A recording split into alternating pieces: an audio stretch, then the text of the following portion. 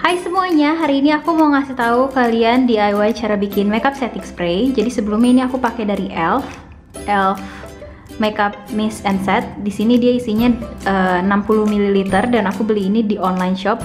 Harganya 80.000 sampai 100.000 gitu. Aku lupa tepatnya berapa aku beli ini. Tapi sekarang dia udah habis. Nih kalau kalian bisa lihat, dia tinggal segini lagi oleh karenanya aku tadinya mau beli lagi kan karena makeup setting spray itu berfungsi biar kalau kulit kita oily itu menjaga makeup yang udah kita pakai itu biar dia nggak um, luntur.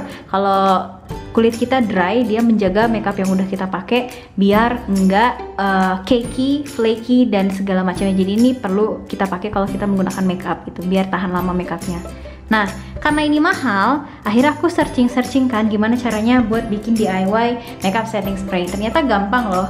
Mayoritasnya yang kita perlu ini itu air minum, terus vegetable glycerin, sama spray, botol spray. Jadi ini aku biar aku kasih tahu dulu harganya.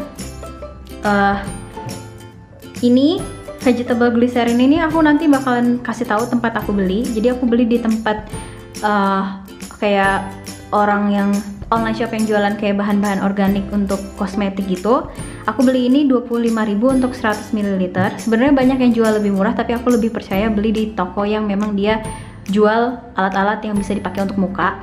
Jadi ini sedikit lebih mahal. Terus ini aku pakai dari bekas parfum tapi pasti ini kalian udah cuci ini dengan benar jadi bisa dipakai untuk DIY kali ini. Sama yang terakhir yaitu air minum. Air minum kalian di rumah kalian pakai itu aja jadi gimana cara bikinnya? E, komposisinya itu dalam satu botol ini kalian pakai ini itu 30% nya dan sisanya 70% nya itu air. Jadi ini kenapa aku cuma pakai segini doang? Karena mayoritas dari perusahaan yang bikin makeup setting spray itu komposisinya terdiri dari ini dan ini. Ada tambahan-tambahan yang lainnya sih sebenarnya cuman dikit banget. Jadi kalau kalian udah punya ini aja itu udah bisa mewakili kayak yang kita beli kayak gini. Jadi langsung aja. Uh, oh iya, karena ini dia banyak kan dia 100 ml sedangkan dia uh, masa expirednya masih lama Agustus 2018 dan pakai ini kan kalian sering sesering kalian pakai makeup ini bakalan cepet habis kan spraynya. Jadi ini bisa untuk dipakai kayak 3 botol sampai 4 botol tergantung kalian mau bagi ini jadi berapa. Jadi lumayan kan kalian cuma spend uang sekitar 25.000 karena ini dapat dari yang udah kita nggak pakai aja dan ini udah ada di rumah kalian bisa dapetin uh, eh, 3 botol 3 kali refill makeup setting spray dengan harga hanya 25.000 apalagi kalau kalian beli glycerin yang harganya lebih murah dari ini kalian bisa dapat lebih banyak lagi makeup setting spray Oke, langsung aja aku mau mulai tutorialnya. Jadi aku siapin dulu di sini. Dipakein tisu buat narok-narok. Ini aku buka dulu. Ini udah aku cuci bersih terus aku mau kasih vegetable glycerinnya ke dalam ini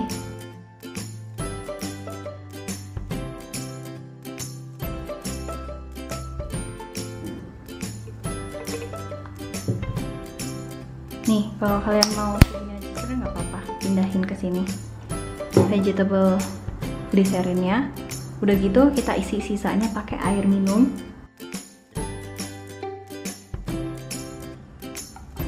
Cukup. Sisain tempat di sini karena kita bakalan kocok sebelum kita pakai. Ya gitu tinggal kita kocok aja.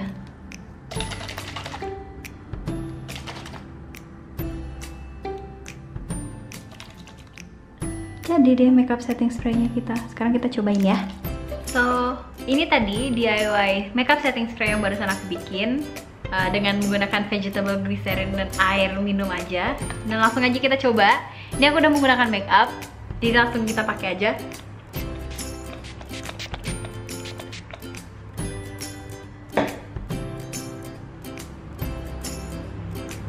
Nah.